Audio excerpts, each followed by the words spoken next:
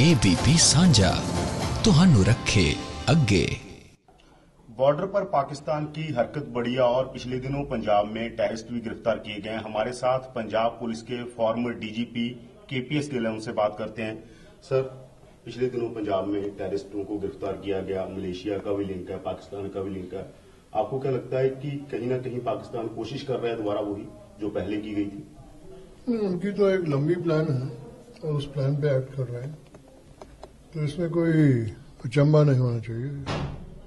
बल्कि इसके लिए हमें तैयार रहना चाहिए। वो कहते हैं ना कि जब बातचीत होती है तो ढीले हो जाते हैं। अगर बातचीत भी होती है तो हमारी तैयारी मज़बूत रहनी चाहिए। आपको क्या लगता है सर जिस तरह से पिछले दिनों एक्टिविटीज़ हुई हैं यहाँ पर टेररिज्म रिवाइव हो सकता है? ये कोशिश की जा रही है? अभी रिवाइज होने का को कोई चांस नहीं है। अगर रिवाइव होने का चांस होता तो अब तक हो जाता।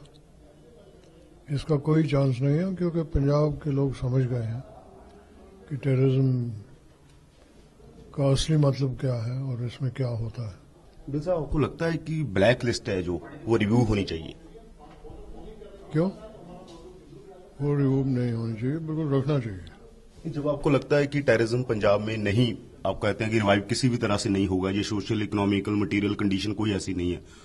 तो इतने इतने दिनों से वो वहाँ है तो रिव्यू क्यों नहीं होना चाहिए ब्लैक लिस्ट रहने दो उनको। बाहर के देशों में है रहने दो आराम से रहते हैं। यहाँ आके तंग करेंगे क्या क्या ज़रूरत है? आपको लगता है कि यही खतरा जो बना हुआ है पिछले दिनों से जो लगातार चीज़ें हुई इसी तरह का कोई बड़ा खतरा आ सकता है अगर रिव्यू होती है लिस्ट देखिए एक ट्रस्ट की बात है। और ट्रस्ट एक दफ़ा चला जाए तो उसको वापस रिवाइव करना बड़ा मुश्किल होता है।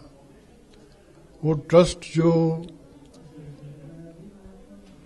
मिसेस गांधी की असैसिनेशन थी, उससे बड़ा ब्रीच ऑफ़ ट्रस्ट और नहीं हो सकता।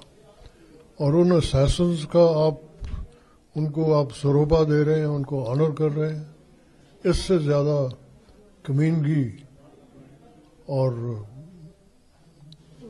उसको किस लफ्जों में कंडेम करूँगा? आपको ये नहीं लगता कि जितना उन्होंने किया था जो भी उन्होंने पंजाब में गलत किया जो कुछ भी किया वो उन्होंने भुगत लिया है अब? तो लास्ट स्टेज में है। उन्होंने क्या भुगता? उन्होंने तो ये देश से बाहर रहे अपने देश से बाहर रहे अपनी धरती से बाहर हो गए थे। उन्होंने तो ये सब चीज़ें स्टार्ट करके चले गए। वहाँ जाके प्रॉपर्टीज़ बना ली लोगों से पैसा इकट्ठा कर लिया कि हम पंजाब को ये कर देंगे वो कर देंगे।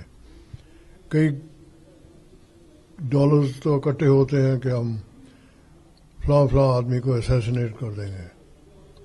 ये एक्टिविटीज़ अभी चल रही हैं बंद नहीं हुई हैं। तो उनको वो क्यों वापस आने देना चाहिए यहाँ पे हैं कई जो उनको वापस आना चाहते हैं।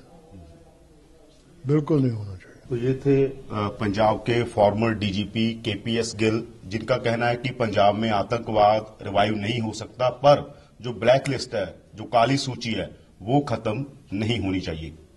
एबीपी सांझा तो रखे अगे